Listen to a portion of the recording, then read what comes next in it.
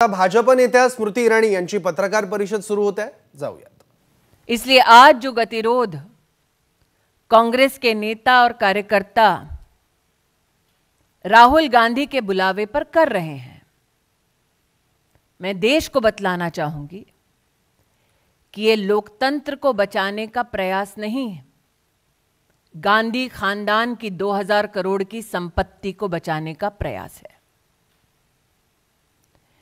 Ladies and gentlemen, at the clarion call of the Gandhi family,